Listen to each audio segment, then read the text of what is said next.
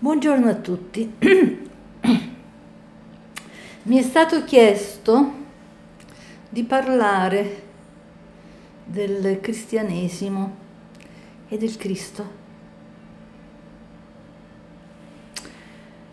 Ehm, premetto che io non sono né cattolica né cristiana, però eh, Nonostante tutto, io non solo ho una grande stima della figura del Cristo, ma nonostante non ce ne siano prove tanto evidenti, che, che ne dicano i cristiani, della sua esistenza, eh, vabbè, inutile dire, anche perché il Cristo, Gesù Cristo non era una figura storica da riportare nei libri storici, ne parla praticamente solo Flavio Giuseppe, quasi nient'altro, e poi ne parla in due righe, ma anche perché era un personaggio appunto non importante politicamente o militarmente ed erano gli unici che venivano eh, citati, no? è stato, si è trovata la citazione di Ponzio Pilato e già sembrava una grande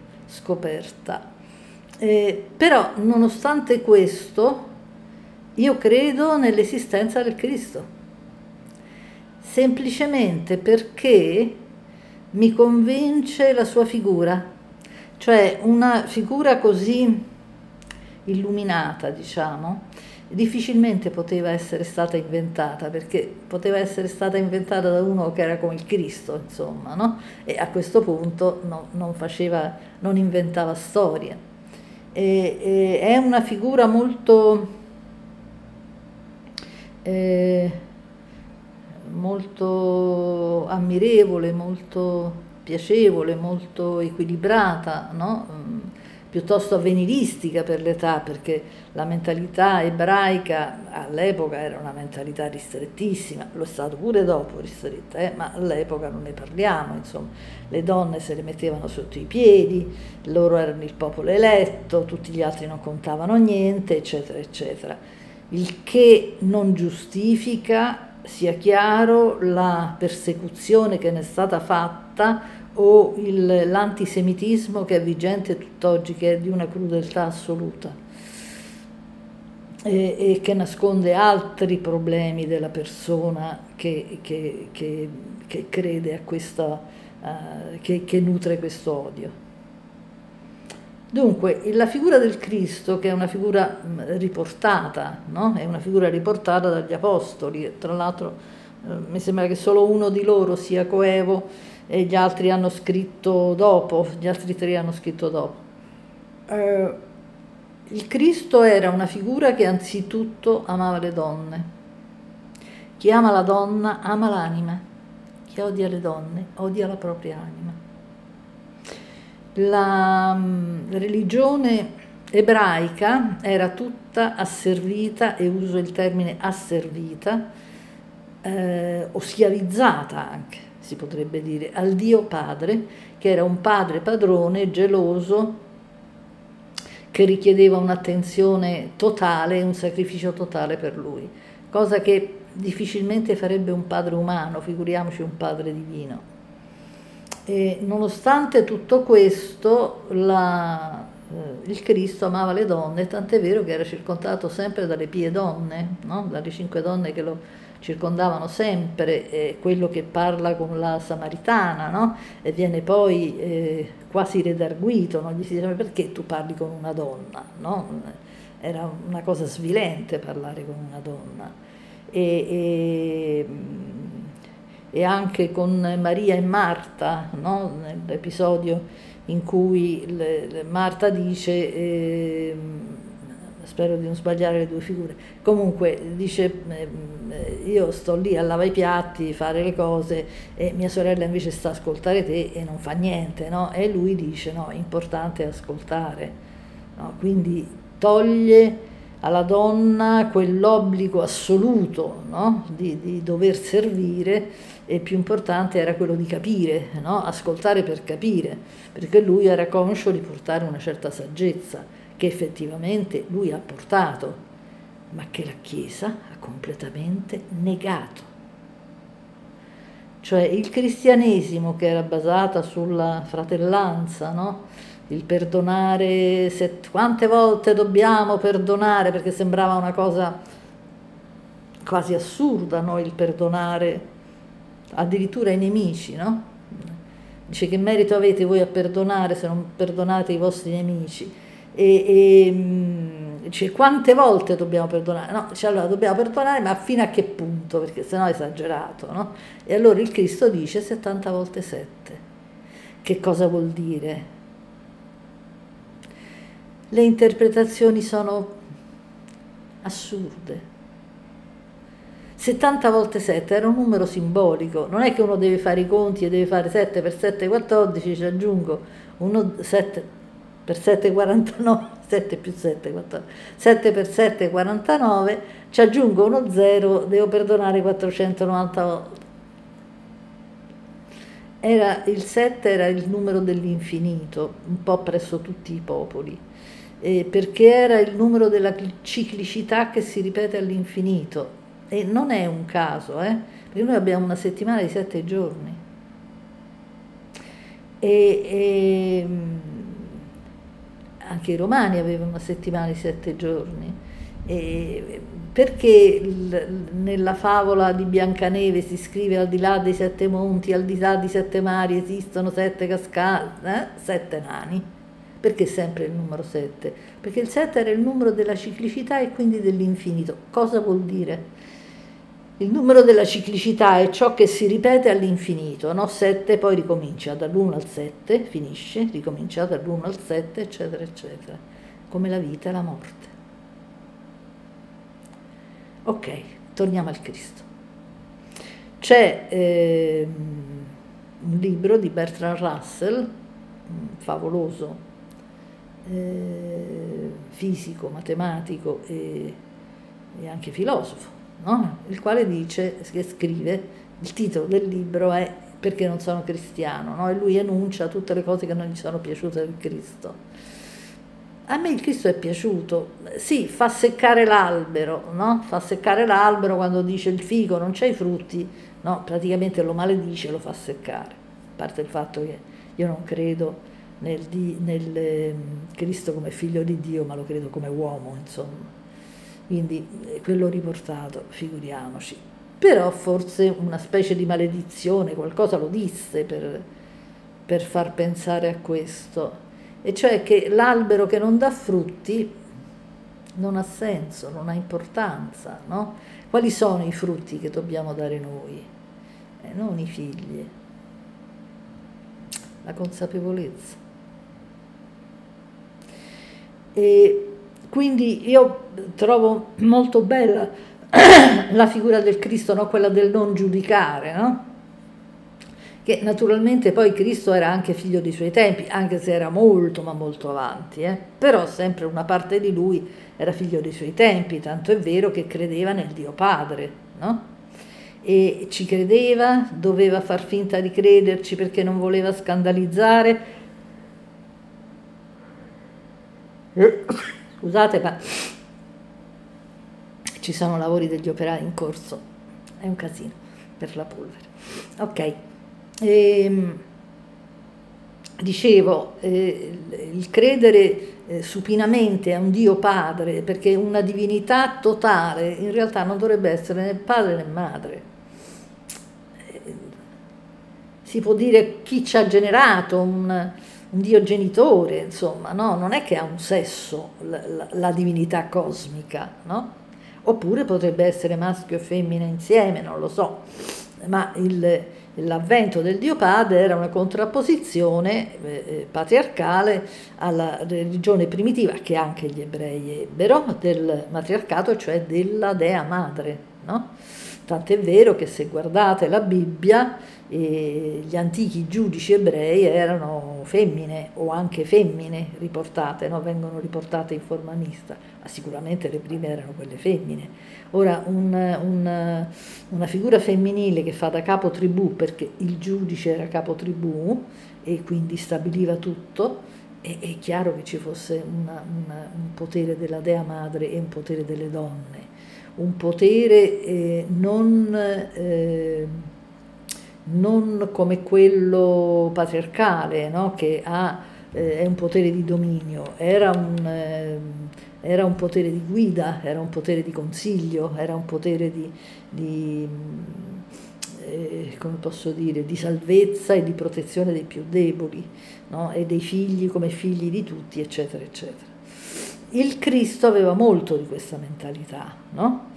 però eh, è votato al Padre mio, no? io devo fare, devo pensare alle cose del Padre mio, mamma lasciami stare, eccetera, eccetera. E naturalmente eh, alcuni l'hanno preso, come si dice, per oracolato, ma i messia allora erano tanti, era l'epoca messianica, no? anche perché era l'epoca della dominazione romana in, eh, a, Gerusalemme, no? nel, eh, nel, Medio Oriente. E, mm, e c'erano i famosi zeloti. Ora i zeloti sono quelli che poi si sono suicidati a Masada esaltati contro la, la, la eh, contro la dominazione romana. No? La dominazione romana era in un certo senso abbastanza, tranne alcune eccezioni, era in un certo senso una dominazione non troppo pesante, anche perché sennò si rischiava la rivolta. E per esempio lasciava a chi era dominato il, le, i, propri, i, propri, governanti, i propri, de, i propri dei No? Quindi eh, i romani rispettavano il Dio degli ebrei, erano gli ebrei che non rispettavano i, gli dei dei romani, perché c'ha una sua logica anche questa, no? e cioè il, il Dio loro era unico e come unico non ammetteva altri dei, mentre essendoci un politeismo nei romani ammettevano anche altri dei, non dovevano esistere solo i loro, avrebbero potuto esigere che esistessero solo i loro, ma non l'hanno mai fatto c'è una grande tolleranza religiosa eh, a Roma. Il, gli ebrei avevano un'assoluta intolleranza religiosa, che è una caratteristica delle religioni monoteiste, ah, non solo perché non ci dovevano essere altri dei, ma perché avevano bisogno di crederci. Cioè io ho fatto quella, quel video, no? chi ha fede non crede, eh, che spiega proprio questo, e cioè che se uno crede veramente nel suo Dio non gli dà fastidio che altri credano in altro. Se io sono convinto eh, che la mia donna o il mio uomo eh, mi siano fedeli perché so che mi ama assolutamente, se un altro dice non è vero, ti mette le corna, ti vuole tradire, io non mi preoccupo, io so, credo veramente, no? Invece lì c'è la morte, la distruzione, eccetera, eccetera. Per cui quando a Masada ritorno, Masada era quella famosa collina, quella famosa fortezza, no? Eh, che era anche di Erode, eccetera, dei eh, israeliani o israeliti, e quando arrivarono i romani e si suicidarono, furono degli eroi, perché, perché uccisero le mogli e i figli. Cioè nessuno ha il diritto di stabilire se la moglie e il figlio devono morire, e glielo devono chiedere. E io non credo che tutte le mogli e tutti i figli erano contenti di morire, no? Magari volevano vivere, no? Insomma, non si può pensare che, no? Se no qualcuno l'avevano lasciato vivo, no? Invece la donna che non posso avere io non la deve avere nessuno, no? Se mi viene tolta io la devo uccidere, che è il femminicidio, no? Praticamente e poi si sono ammazzati pure loro ovviamente perché non potevano esistere come, come schiavi anche se la schiavitù dava delle possibilità no? voi sapete che a Roma eh, Augusto fece anche degli editti no? per impedire che venissero liberati troppo mi sembra se ricordo bene che fece un editto per cui bisognava tenere uno schiavo per cinque anni prima di poterlo liberare no? perché diventavano liberti praticamente perché lui stesso eh, eh, aveva gli schiavi di palazzo, diciamo, ne liberò qualcosa come 4.000 e sua moglie Livia ne liberò qualcosa come 2.000, per cui i reali solo ne avevano liberati 6.000, quindi voglio dire, non era poi così difficile se ci si comportava bene, eccetera, diventare liberi, no? Anche se si restava un po' legati al... però c'era anche una protezione di mezzo. E quindi voglio dire, le, le, chi uccide la moglie e i figli non è una brava persona, non solo, ma gli zeloti erano terribili, erano dei, eh, erano del, come posso dire, eh, uccidevano, erano dei terroristi, ecco detto in una parola, facevano il terrorismo, erano degli autentici terroristi e massacravano un sacco di gente, ma tanta. Per cui i romani erano un po' terrorizzati a loro volta da questi terroristi, no? perché non combattevano, facevano le, le scaramucce, uccidevano, sorprendevano, eh, facevano le imboscate, eccetera, eccetera, con un odio mm, anche esagerato insomma, nei confronti dei romani, che in fondo erano apportatori di civiltà e che avrebbero rispettato il Tempio di Gerusalemme come lo rispettarono. No? Loro volevano costruire anche altri tempi, non si poteva fare assolutamente l'unico Dio, perché il padre eh, non ammette che ci siano altre persone a condividere il potere, no? È come Sauron nel, nel Signore degli Anelli che dice il, eh, in cui il, il, mago là dice Sauron è uno che il potere non lo condivide con nessuno, veramente. No, lo dichiara il Dio nella Bibbia e dice io sono un Dio geloso, no? Ora un Dio che è geloso anche un padre geloso fa pensare un pochino, un Dio non ne parliamo, siamo rovinati, insomma, allora non esiste una giustizia, non esiste una benevolenza, non esiste nulla, no? E, e un Dio che ordinava di uccidere, quando occupavano una città dovevano uccidere anche le donne e i bambini, no? Non avete ucciso le donne, parole della Bibbia, e le vostre donne, se erano sposate, eh, sacrificano ad Astarte, per cui l'avrebbero dovuto uccidere. Questo era il Dio buono, figuriamoci, questo era il Dio non buono, misericordioso. Figuriamoci se era cattivo com'era, no? Viene da dire. Quindi la figura del Cristo era una totale innovazione. Bellissima figura. Quando viene tentato dal diavolo, guardate che è un aspetto molto credibile, perché le tentazioni nella, nell'opera al nero ci sono.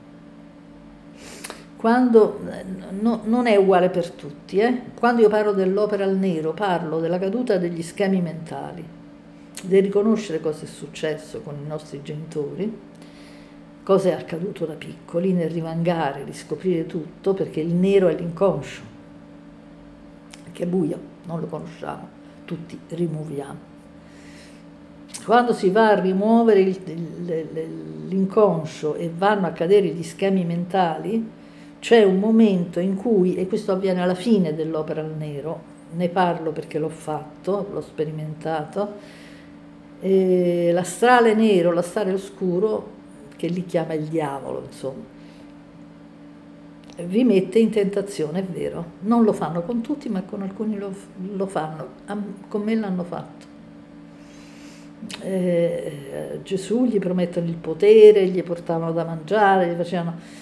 A me l'hanno fatto con eh, altre cose, naturalmente non mi potevano promettere il potere di chissà cosa, però di sistemare alcune cose, di, di diventare famosa, di eccetera, eccetera, me l'hanno offerto. Eh, solo che io ero abbastanza smaliziata e ho capito immediatamente di che si trattava e ho tagliato immediatamente tutti i legami con le persone citate che potevano farmi illudere su questo. Non volevo illusioni, volevo la verità. Ero stanca di inganni e illusioni da parte della società, del mondo, volevo la verità, costi quel che costi. E quindi è una fase che si passa. Quando Gesù Cristo dice anche e verrà il momento in cui le, le, le, stelle cadranno dal cielo sulla terra, in cui succederanno no, la fine del mondo, che molti santi aus- no, auspicano, non giusto, non è che la desiderano, eh, prevedono. Vi ricordate, nel Vangelo si domanda a Gesù Cristo quando succederà questo, non passerà una generazione che questo accadrà. E non è accaduto. Perché? Perché la fine del mondo è una caratteristica della fine dell'opera al nero. Sembra che finisca il mondo. Io li ricordo i miei sogni.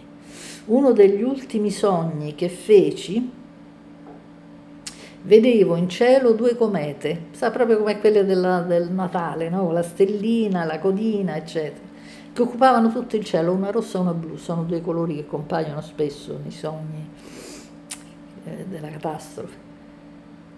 E questi due comete, queste due comete dovevano eh, cadere sulla Terra, che poi cadere sulla Terra era il cielo che cadeva sulla Terra, non erano le stelle come dice Gesù Cristo, erano le due stelle comete, siamo lì. Ed è le, ciò che sta nella mente viene in terra, no? quindi crollano gli schemi mentali, perché il cielo è la mente. Per questo noi mettiamo sempre gli dei in alto, perché stanno nella nostra mente. E, e, e, ricordo che avevo con me un bambino piccolo che era mio figlio ed era in realtà eh, il mio maschile nuovo, no? il nuovo maschile che sorgeva. E ricordo anche che questo bambino disse che doveva entrare in chiesa, un po' come Gesù con i dottori, no? non andò a confutare i dottori, però voglio dire, eh, io per un attimo temetti che lui si facesse incastrare da questi, no? lui tornò e disse no, li ho solo salutati, cioè do l'addio alla religione che d'altronde io avevo apparentemente salutato molti anni prima, perché io a 13 anni mi, mi professavo atea, ma naturalmente profondamente ancora dentro un cattolicesimo ce l'avevo perché l'avevo assorbito. E, e, mi ero liberata completamente dalla religione, no? E allora io capii che, che, io dovevo morire con questo bambino, no? E me lo presi in braccio e dissi andiamo in un posto dove siamo soli, lontani dalla folla, moriremo insieme abbracciati. Perché si sogna la fine del mondo e quindi la morte? Perché muore il nostro mondo. Non è che muore il mondo, muore il nostro mondo ed è vissuta come una morte la famosa piccola morte o la morte iniziatica di cui si parla tanto nell'esoterismo, se non c'è quella, e fermo restando che ci sono persone che hanno delle qualità magiche indipendentemente da questo, che non deve essere la strada di tutti, eccetera, eccetera, ma per chi vuole capire e sapere tutto, tutto. tutto quello che può sapere una piccola formichina come l'uomo, ovviamente. La strada è questa, per chi la vuole fare la strada è questa. E lui l'ha fatta, però anzitutto si è lasciato beccare e mettere in, in croce per un padre che doveva amarlo e che l'ha fatto mettere in croce per non arrabbiarsi contro gli uomini perché lui salva gli uomini, cioè qualcuno doveva vedere morire in croce atrocemente, se no questo Dio non era soddisfatto. È terribile, no? Allora il Cristo pensa che lui, che il padre voglia che lui muoia in croce, ma è una cosa assurda. Ma quale padre vorrebbe che il figlio muore in croce? Ma il peggiore degli uomini, non un Dio, no? E poverino, eh, lui si è sacrificato perché al Dio ci si sacrifica. I romani sacrificavano gli animali, eh, nel cristianesimo si sacrifica se stessi, ma non è bello sacrificarsi, perché il sacrificio è il nutrimento dell'astrale negativo. Ora questo solleverà un mare di, di, di rifiuti, di, di, scontento, di di anatema, anatema, anatema sit. E, ma è così. È così perché anch'io in parte lo feci e mi accorsi di come alimentavo l'astrale negativo. In fondo sacrificarsi è dire al Dio Padre eh, nutriti di me, ti do una parte di me, te la dedico, mangia. E noi nutriamo l'astrale negativo ci sono sacrifici benedetti, per carità, quello che si sacrifica per aiutare il figlio, che va a salvare uno che annega, per cui rischia pure lui, per carità ci sono delle cose che sono molto belle, insomma, no? Ma il sacrificio per un'idea o per un Dio, anche il sacrificio per un'idea è abbastanza dubbia, eh? perché quello che si dà fuoco nella piazza per protestare, eh, lì è un sacrificio che si offre all'astrale, eh? non c'è bisogno di quello. I martiri cristiani sono stati una pappata dell'astrale nero fantastica, ma infatti una persona sana non si sarebbe mai lasciata morire per un Dio crudele che voleva che loro morissero con dolore. Dovevano essere persone piuttosto squinternate come ce ne sono di persone squinternate. Scusate, odio i termini tecnici, li conosco, ma non mi piacciono. No, io sono, sono una persona, nonostante la cultura terra-terra, abbiate pazienza. Quindi quando capisco squinternato è come il quaderno che si rompe, no? lo capiscono tutti, insomma. E, e, voglio dire, ce ne sono state un po' in tante religioni, no? ma soprattutto in quella cristiana, insomma, no? ci, si doveva, ci, si doveva, immolare, ecco, immolarsi, no? Eh, Quo vadis domine, vado a Roma a farmi crocifiggere, tu non ti sei voluto crocifiggere, eh, ci vado io, voglio vedere come ti metti. Fai crocifiggere me o ti fai crocifiggere tu? Perché qualcuno si doveva far crocifiggere, non si capisce perché. Quindi la figura del Cristo mi piace moltissimo, ma è uno che comunque si è fatto infinocchiare da una fede, la fede nel Dio Padre. E non ho fede né nel Dio Padre né della Dea Madre, a meno che, e all'inizio lo era, poi è diventata una fede, per Dea Madre non si intenda la natura, no? la natura estesa a tutto il cosmo, perché il cosmo ha tutta una natura, magari molto diversa dalla nostra, ma c'è una natura, no? c'è una materia, no? eh, quasi tutta sconosciuta per noi, ma c'è. E questa eh, natura manifestata, no? la natura naturata, come la chiamavano gli antichi, che so di averlo già detto, eh? Però mi ripeto perché queste cose si dimenticano, no? Distinguevano una natura naturans e una natura naturata, e, e, cioè un'intelligenza e una, una, materia. Un po' come se di una persona uno dovesse dire sì, quella persona voi la vedete, però c'è una parte che non vedete ed è la sua intelligenza. Non diremo mai questo di una persona. Perché lo diciamo della natura?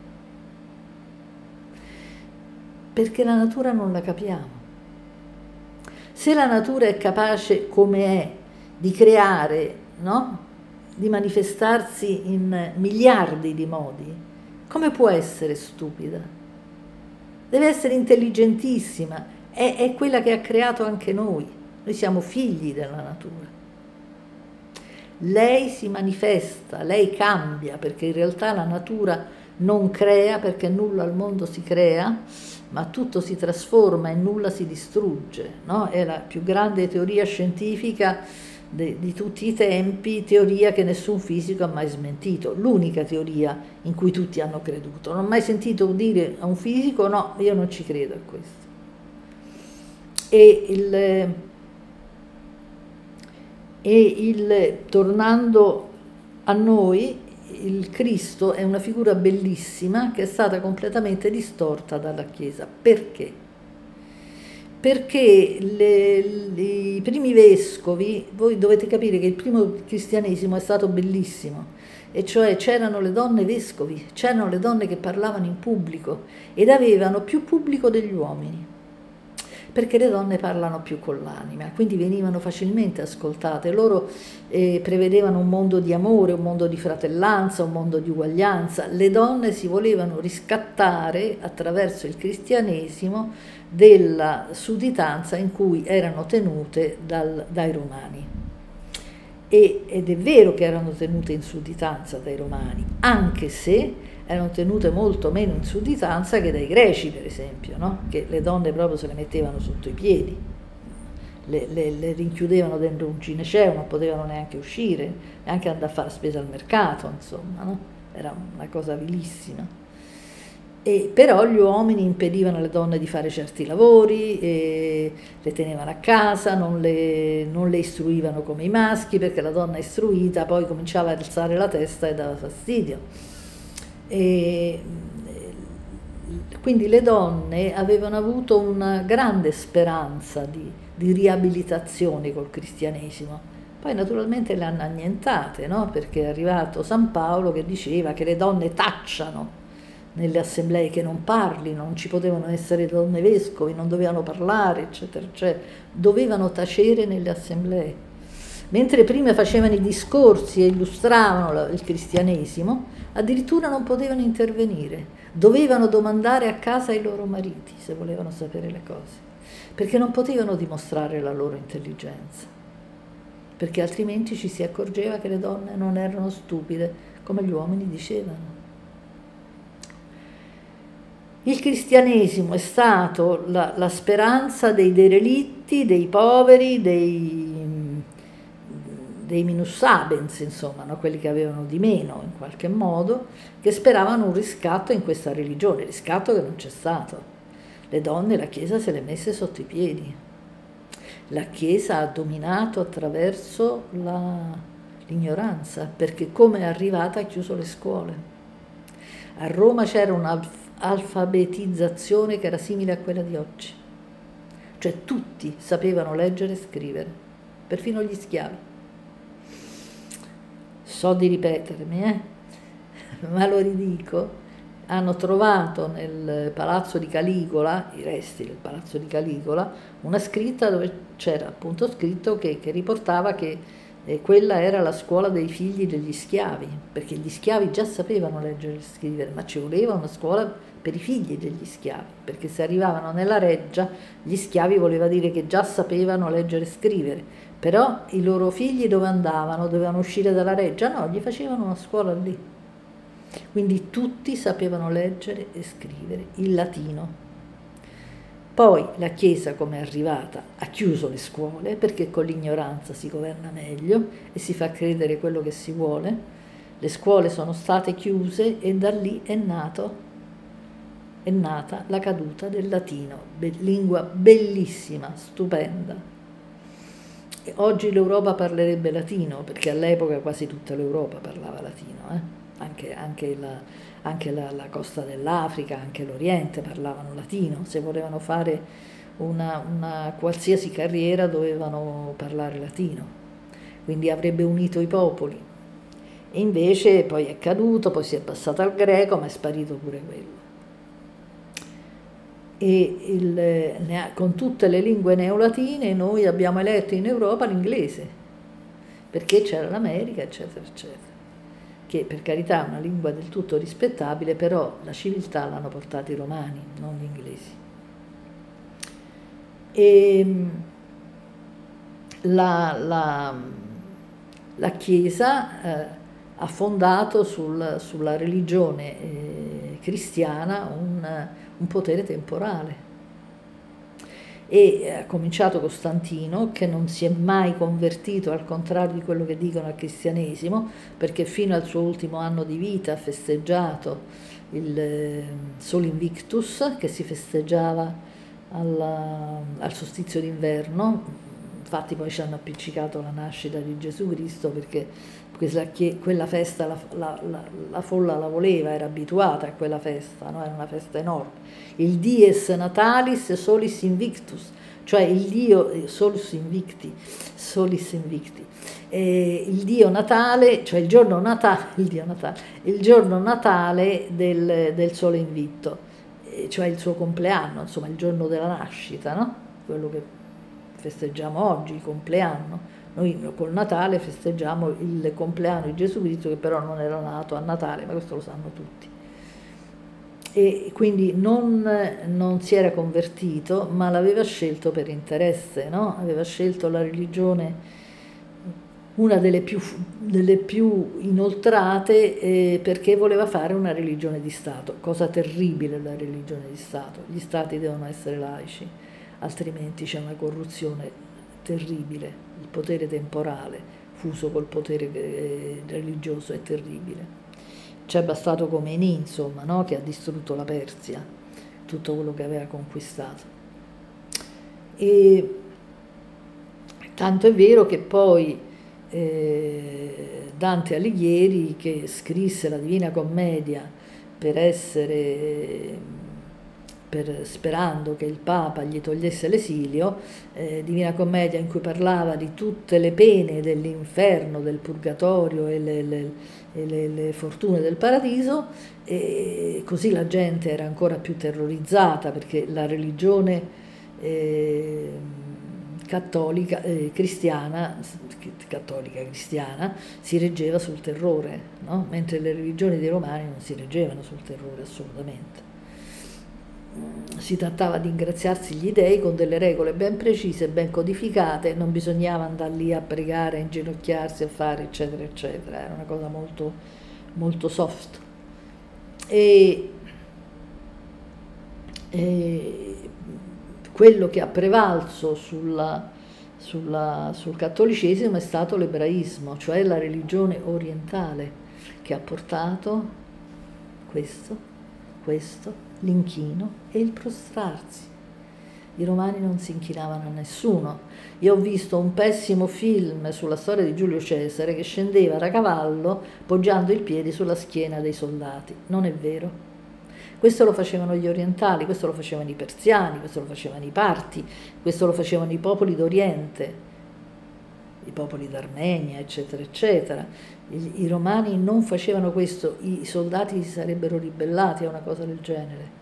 Il generale doveva rispettare, li, poneva, li poteva punire se non combattevano, ma mai poteva eh, togliere la loro dignità, si sarebbero ribellati. I romani non si inchinavano nemmeno all'imperatore, era un popolo molto orgoglioso. La religione l'ha distrutto la religione ci ha distrutto, ha distrutto la nostra dignità, noi dobbiamo essere servi di Dio. I romani non erano servi degli dei, cercavano di tenersi buoni gli dei, ma non da servi. Ok, alla prossima, grazie a tutti.